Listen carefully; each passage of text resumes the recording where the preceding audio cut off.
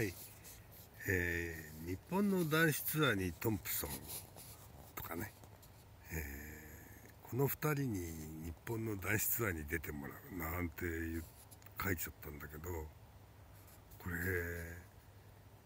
本当に出た勝っちゃったら困るね。困るというか本当に勝っちゃうだろうねこれ。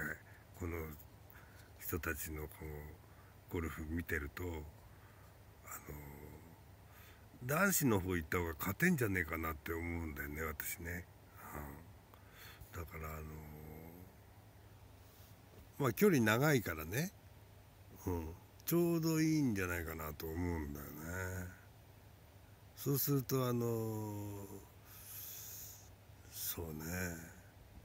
であの富士山系なんかねぜひ男子の富士山系にモネちゃん出たらさあのショットだからね。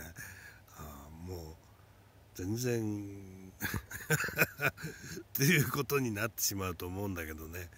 どうだろうね。一回こうあのー男子ツアー活性化のためにねもう男女を問わないということで、えーやってもらうといいと思うんだけどね。どうでしょうかね。